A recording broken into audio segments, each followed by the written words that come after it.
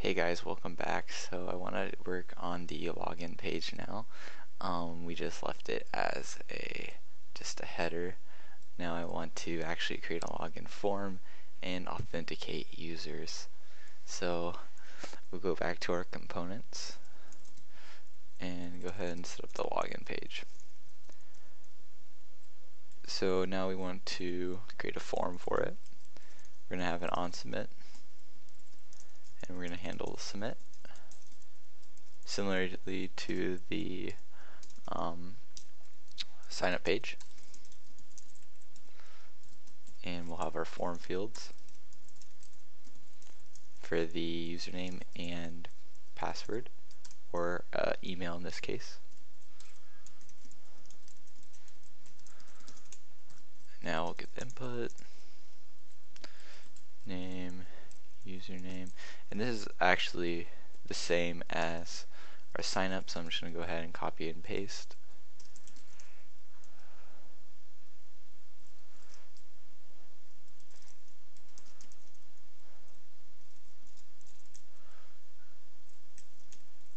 That.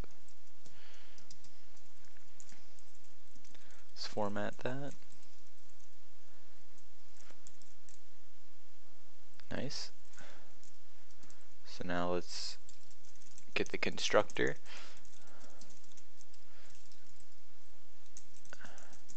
And we're going to set the default state with the username and password being blank.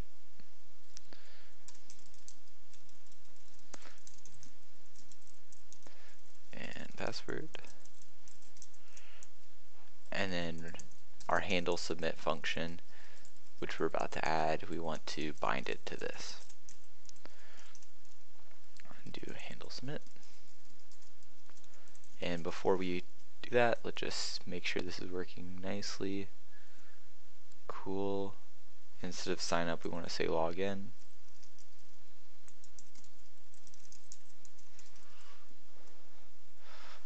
And the login form is looking nicely. Now let's make it actually work.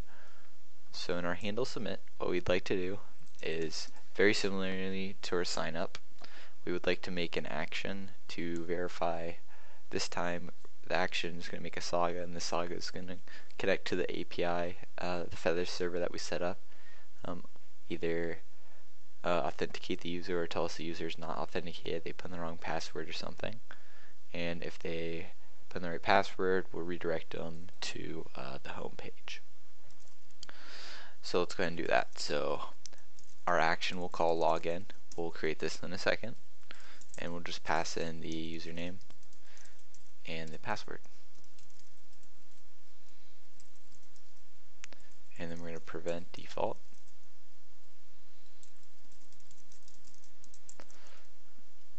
And then afterwards just set the state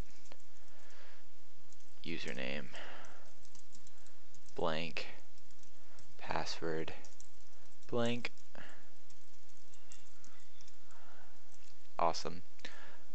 And we're exporting so let's go ahead and create this login action.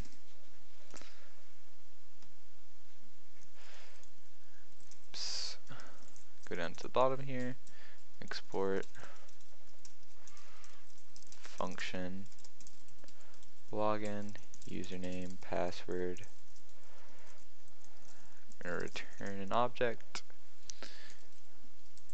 and login requested. And just passing in the username and password. Let's go ahead and get into the saga now. Similar to our sign up. We're going to try login.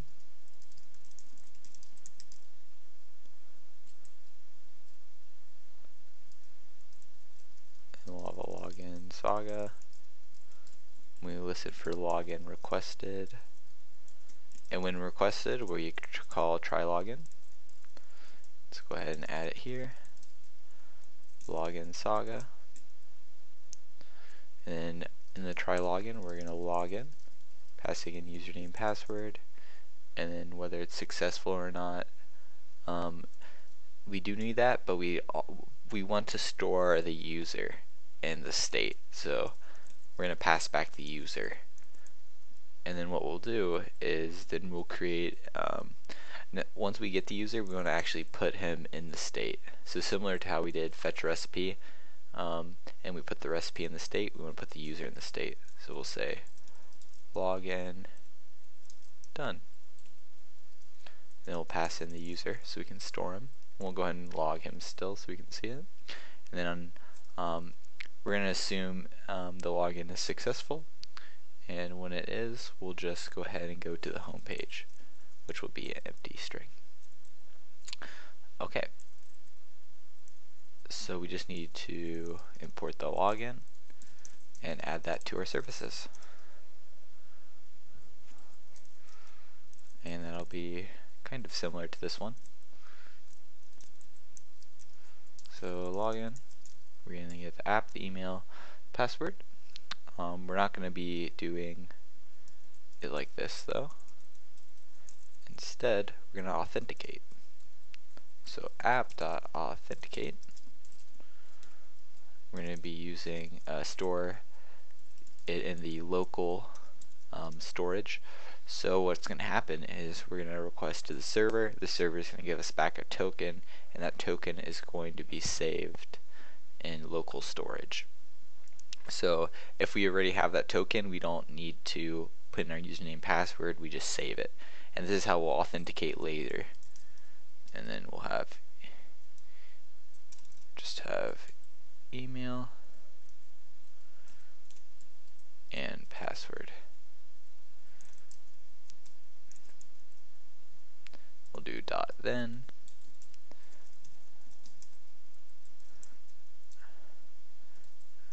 And then this is on the first one. This assumes that the login went correct. If it went correct, we'll just pass the user back, which is the response. If it did not go correctly, we'll catch it. Grab the error.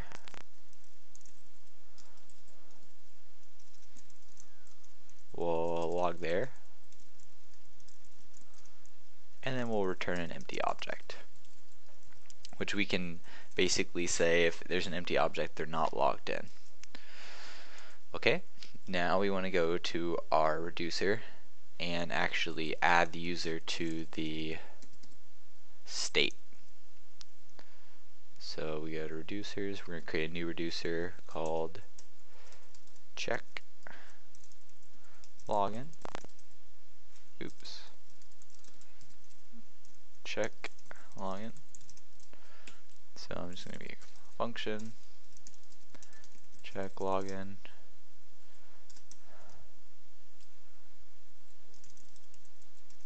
Initial state is just going to be an empty object. Get the action and switch action.type and then we're just going to check we want login done when the login is done we're going to return action dot user. And the default case we just return state. Let's go ahead and export that. Check login. And then we need to add that to our reducer our root reducer because we're going to be passing in a user so check login. Check login. And now because we updated the reducer we also need to update the app. So we'll just come here and we'll say user equals state dot check login. Very nice. So if I didn't make any mistakes, that should let us log in. So I'm going to test with that test login that I made before. Let's log in. Let's see if we got any error in our console. We didn't. Oh, something was printed. Okay. So it printed back an object. It looks like it might have worked. Let's see if it was added to our state. Go to connect main. Can check our state and we see a user and that's exactly what we're looking for. So we can see that a user is currently logged in because we have the data here and we can use that to basically tell if a user is logged in. So that's um, our login page. What I'd like to do next is create a little navigation bar at the top here so we can actually tell when a user is logged in and then prompt them to log out and that sort of thing. So that's what we'll do in the next video.